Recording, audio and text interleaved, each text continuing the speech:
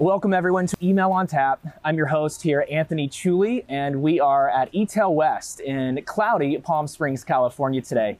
Uh, I am thrilled to have as my guest today Jen Capstraw. She is the Director of Strategic Insights and Evangelism at Iterable and also the co-founder and president of Women of Email. Jen, thank you so much for being on the program. My pleasure. I'm very impressed. You got all my titles correct. I know it was a, it was a lot, but I got it. Um, one of the things that I love about you is I've followed you for, for a while now on social media, and you tend to be such a, a powerful voice and an influencer on email marketing. Um, how did that how did that come about, and how do you find your unique voice when writing content or sharing social media? Uh, it actually kind of goes back to my first career. This is um, a second or third, but I started out in radio and TV and uh, primarily as a broadcast journalist. And it was my job every day to be an expert on something and to speak in an authoritative way. And so it comes kind of naturally to me, the thing that I am doing now and love and enjoy so much, to um, to position myself as someone who has something to say. Uh, I didn't realize I had something to say for quite a while, though. Um, before there were a lot of really powerful communities of email marketers. You know, I was just another marketer out there doing my thing, um, reading the blogs and, and figuring out my own strategies. And I didn't actually realize until much later that I was doing some cool and innovative things. And once I discovered that, I found it pretty easy to, to say, hey, I've got something to say and I'm going to share it. And um, that led to more job opportunities where that became a big part of the job. It was awesome. yeah, yeah. So I'd be remiss if we didn't talk about Women of Email. Um, what an amazing organization with over 3,000 members now. Um, how did how did that organization come come from an idea and translate into a powerful networking organization that it is? It actually started as a conversation about a lack of female representation at conferences um, and seeing a real imbalance of genders. Um, if you are ever at an email event, you might notice that it seems kind of a 50 50 split of men and women, and we don't necessarily see that represented on stage. And so, Kristen Bond, one of my co founders, wrote an article about her observations of this problem and some potential solutions. It started a conversation in the space, and that led me to connect with Kristen, uh, with Laura Atkins, mm-hmm. and with um, April Mullen. And we found we were all very like minded on the same page about this issue. And so the next day I was like, well, let's do something about this. And we organized really quickly, and our growth, we did not expect the growth that we achieved in a very short period of time. We had 100 members within a couple of days. And we created our speakers bureau, uh, but it's grown into so much more than that. Um, it's just a really enthusiastic and supportive community. We've got a mentoring program. Um, we have scholarship opportunities for women to attend conferences who have financial situations or, or budgetary situations that aren't going to allow for them to go to these conferences. Um, and it's just a, a source of amazing advice and I love it. It's it's it's awesome and, and it's a great community to be a part of. And it's free to join. So any woman or anyone who identifies as a woman who wants to join, come aboard. Yeah, what an amazing organization. I've been so humbled to meet so many women of email here at this conference this week. And it's it's just a it's a, it's a pretty inspirational story to be honest. Thanks. I appreciate it. Um, you were on a recent webinar that I listened to, uh, and you talked about a, a, prediction for 2019 being more morality in marketing.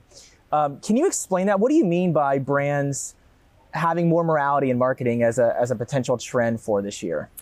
Um, it's kind of a lot of ideas that are interconnected. Uh, one of them is that we're seeing more brands step up and infuse their marketing messaging that is with uh, concepts that are reflective of their values. Sometimes they're political or social, and um, and, and, those companies, those those risks are taking off, are, are they're benefiting. It doesn't matter where they fall, whether they lean more liberal or more conservative. If they take a strong stand on something, and it's a very strongly held belief of the the founders and, and the leadership, uh, it tends to pay off. It, it, tends to produce more revenue, greater visibility. Most recently, we saw it with Gillette, um, right. and there was a lot of negativity about mm-hmm. that message because it was it was the first time that we saw a message about toxic masculinity in marketing, and a lot of people were very offended by it. But I, I expect to see a lot of success for Gillette as a result of this because even when there's controversy, it doesn't hurt. So we saw controversy, for instance, surrounding uh, Chick fil A, we saw controversy surrounding Hobby Lobby, yet they continue to be very successful. So even when it's controversial, it's successful. But in addition to that, I'm seeing um, a trend toward greater respect and authenticity toward uh, prospects and customers. We're seeing um, companies are wanting to treat people the way that they want to be treated. And I am seeing a connection between um, the rise of the millennial generation, and assuming leadership roles, mm-hmm. and they have very powerful moral compasses and, and um, codes that they abide by. And it's, it's spilling into the type of messaging that they're putting out there. Um, I'm Gen X, but I am surrounded by millennials. Most of the women of email are millennials. Uh, most of the team that I work with at Iterable are millennials. Our co-founders are millennials. And so once upon a time, my point of view on marketing success was, hey, if it converts, it's working. And what I was observing is that the generation of marketers that are rising now are saying, no, no, that's not enough. We need to treat people with respect. We need to um, honor their preferences. We need to be transparent about the messaging we're sending to them. Um, and, and so it's, it's tied into who they are as people and, and it's spilling into our marketing. And I think that that's tremendously valuable. It's, it's evolving my perspective quite a bit. And it ties into this idea of uh, lifetime value right. as the ultimate KPI. Slowly, uh, brands are adopting LTV, lifetime customer value, as, as the, the biggest and most important KPI. And so that means you need to build a relationship that is long lasting, you need loyalty and retention. And you can't achieve that if you're using cheap tricks to convert people. So all of these concepts are kind of interconnected and they're leading to a fresh approach to, to marketing, generally speaking, and as well as email marketing specifically. And I think it's, it's really fantastic and, and I'm enjoying it quite a bit. I actually, during that webinar, created kind of a morality spectrum where you could score yourself right. or, or a brand on that um, that spectrum. And um, it's we're going to be putting out some more thought leadership that's related to that concept. You know it's, it's an interesting fact because i was sitting into a few of the sessions today and uh, a lot of the keynote speakers were talking about not only building an emotional relationship with their customers and the importance of not just being surface level in the way that they market but really truly being emotionally attached or creating that emotional relationship with their customers and also trust. And i think that goes back to your response of of more morality in marketing is it's there's more at stake now with brands in the way that they identify and they interact with their customers uh, than ever before. Uh, so I, I, certainly I certainly agree with that prediction, and I th- I know it takes different levels for different folks of where they're at, but um, you know we're, we're starting to see more brands stand up for social issues, uh, uh you know, t- take a stand or have a voice on on whatever climate they're in and what excuse me, whatever whatever's going on. So um, I certainly I, I, remember picking that up from your webinar, and I thought it would be uh, a, a, relevant question to ask and and have more information from you about that. Um, let's shift gears and talk about um, deliverability for a moment. Um, email continues to be the highest generating channel arguably the highest generating channel from, from social, from SMS, from push.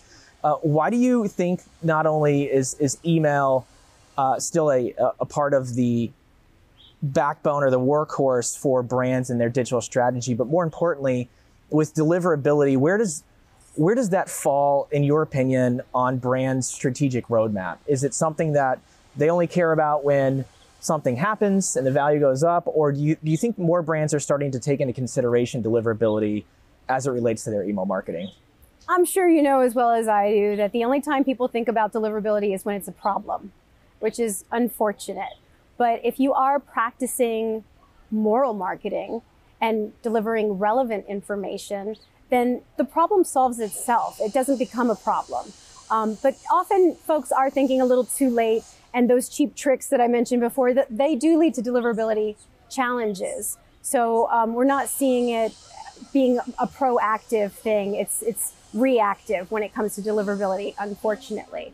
Um, getting back to the idea of email being that ultimate ROI channel, um, I actually read a report came out in December, something like 82% of CFOs are predicting a recession by 2020. And um, we also had that article recently in the Wall Street Journal saying like email is the cool new right. channel. It's what's old is new again. And I think that we're going to see email, more attention shifting back to email because it is so cost effective and so high ROI. We've had a tremendous decade. The last decade has been really phenomenal in terms of innovation and technology and, and all these great things that are happening. But um, as as our economic situation starts shifting and belts start tightening, CFOs and CMOs are going to have to make some tough decisions. And I think that we're going to see them shifting back to email and, and giving it more marketing budget share um, and not investing in the, the riskier opportunities. So innovation might slow a little bit, but all of the innovation that we've had over the last decade has set us up for exceptional success going forward if we invest now and, and turn our attention now to the email channel. Yep, very well said. Um, I want to close with with this question. Uh, I've always respected your ability and your unique voice and the way that you have perspectives and your research that you do on email marketing. Uh, what advice would you give someone aspiring to start their uh, their content marketing journey or uh, tweeting or posting about relevant topics?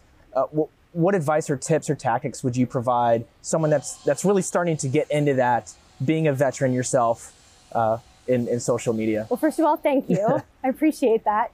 Um, you know, the the secret to success is authenticity. Be yourself. Um, take throw a flag in the sand, have a point of view, and express it. And it doesn't have to even be right all the time. My perspective is always evolving and shifting and changing as I take in new ideas and, and, and reflect on ideas in, in different ways. So don't be afraid to take a stand and don't be afraid to evolve away from it going forward. Don't be afraid to fly your freak flag. Be authentic and true to who you are. I love I, it. I think like the weirder I am, the more people join my webinars, and um, which encourages more bad behavior. But it's really paying off for us at Iterable, and, and people are really enjoying the sessions. Um, so you just be you, and everybody has uh, a story to tell. Right. Uh, we're all um, marketers as well as consumers, and just talking about your own experiences as a compu- consumer through the lens of a marketer is always so interesting to other marketers and a really easy way to connect uh, and build your personal brand. Jen, this has been great. Thank you so much for taking the time. I had a great time. Uh, thank you all for tuning in, and we hope to see you next time on another episode of Email on Tap.